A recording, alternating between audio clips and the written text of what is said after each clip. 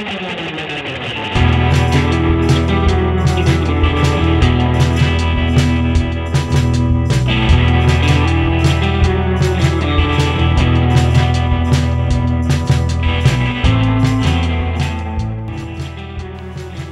Panthers, I'm Grant with Panther TV.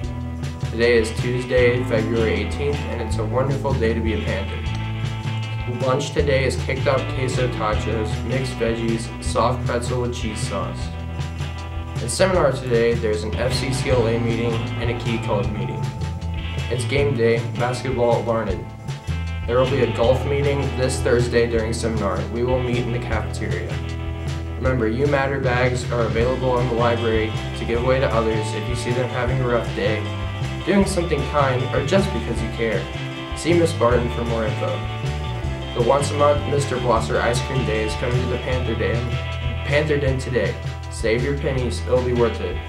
The Panther Den seems to be doing great. Stop by to get a, a snack for class. Help support FBLA. Now to Carson with Panther TV. Hello Panthers, I'm Carson with Panther TV.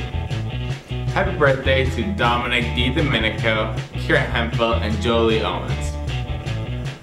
Here's a representative from Lincoln Tech out of Denver, Colorado, coming to our school with a presentation on careers, college options, financial aid, and more.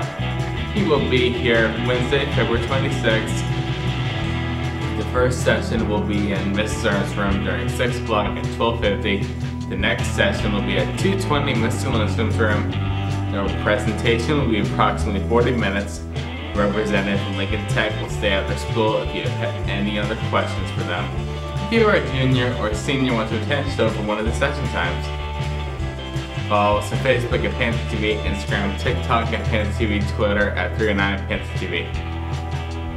Teachers, students, faculty, to get your event featured on the news, email us at panthertv at us9cast.org.